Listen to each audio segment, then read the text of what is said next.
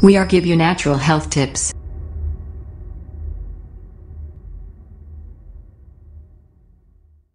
Premenstrual breast swelling and tenderness Premenstrual breast swelling and tenderness, or cyclical mastalgia, is a common concern among women. The symptom is part of a group of symptoms called premenstrual syndrome, or PMS. Premenstrual breast swelling and tenderness can also be a sign of fibrocystic breast disease. Fibrocystic breast disease is a term used to describe painful, lumpy breasts prior to the menstrual period. Women with this condition often notice large, benign, non-cancerous lumps in their breasts prior to their monthly periods. These lumps may move when pushed on, and typically shrink once your period has ended. PMS-related breast soreness can range in severity. Symptoms often peak just before menstruation begins, then fade during or immediately following a menstrual period. Most of the time, the symptoms are more of an annoyance than a serious medical concern. Nonetheless, whenever you are worried about changes in your breasts, consult your doctor. Sore breasts can be a symptom of menopause and a variety of health conditions. Causes of premenstrual breast swelling and tenderness Fluctuating hormone levels account for most episodes of premenstrual breast swelling and tenderness.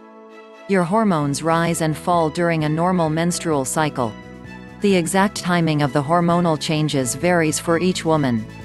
Estrogen causes the breast ducts to enlarge. Progesterone production causes the milk glands to swell. Both of these events can cause your breasts to feel sore. Estrogen and progesterone both increase during the second half of the cycle days 14 to 28 in a typical 28-day cycle. Estrogen peaks in the middle of the cycle, while progesterone levels rise during the week before menstruation. Medications that contain estrogen can also cause breast changes such as tenderness and swelling.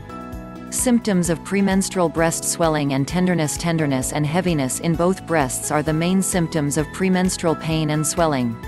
A dull aching in the breasts can also be a problem for some women. Your breast tissue could feel dense or coarse to the touch. Symptoms tend to appear the week before your period and disappear almost immediately when menstrual bleeding begins. Most women do not experience severe pain.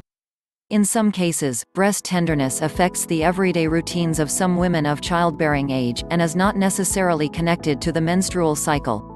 Due to the natural change in hormone levels that occur as a woman ages, premenstrual breast swelling and tenderness usually improves as menopause approaches.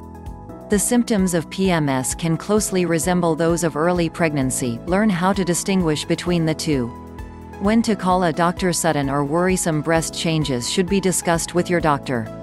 While most premenstrual breast pain and swelling is harmless, these symptoms could be warning signs of infection or other medical conditions.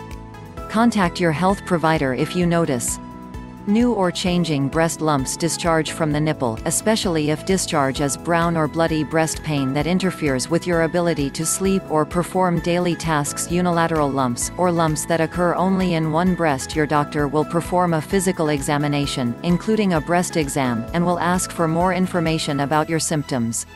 Your doctor may ask the following questions. Have you noticed any discharge from the nipple? What other symptoms, if any, are you experiencing? Does breast pain and tenderness occur with each menstrual period? During a breast exam, your doctor will feel for any lumps, and will take notes about the physical qualities of the lumps. If asked, your doctor can also show you how to properly perform a breast self-exam. If your doctor detects any abnormal changes, they may perform a mammogram or an ultrasound if you are under age 35. A mammogram uses X-ray imaging to view the inside of the breast. During this test, the breast is placed between an X-ray plate and a plastic plate and compressed, or flattened, to create a clear image.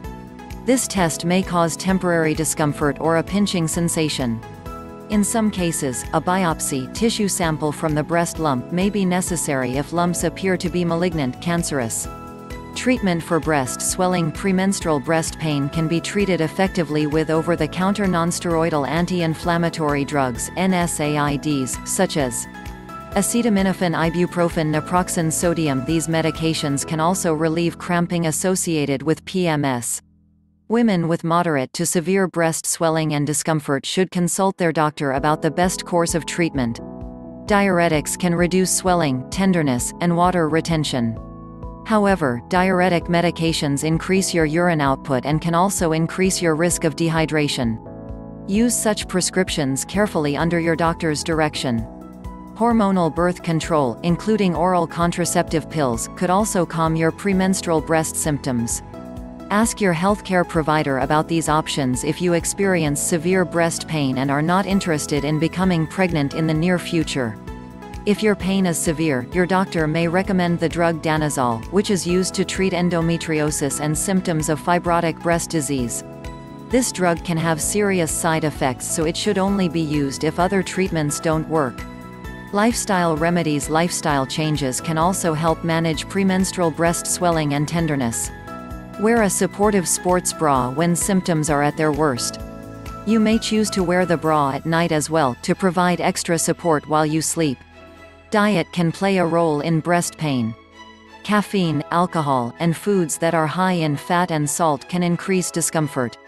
Reducing or eliminating these substances from your diet in the week or two before your period may help manage or prevent symptoms. Certain vitamins and minerals may also help relieve breast pain and related PMS symptoms.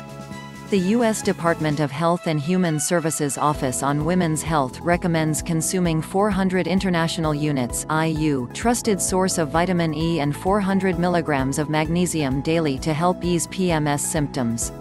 You can find a variety of options here. Since supplements are not monitored by the FDA, choose from a reputable manufacturer. Choose a variety of foods rich in these nutrients, such as peanuts spinach hazelnuts corn, olive, safflower, and canola oils carrots bananas oat bran avocados brown rice Your doctor may also recommend vitamin supplements. Self-examinations can also help monitor any changes in breast tissue. According to the American Cancer Society ACS, women in their 20s and 30s should perform breast self-exams once per month, typically after their monthly period, when swelling and tenderness are minimal. Mammograms are advised after age 45 and may be considered earlier. Your doctor may recommend mammograms every two years or more if there is low risk.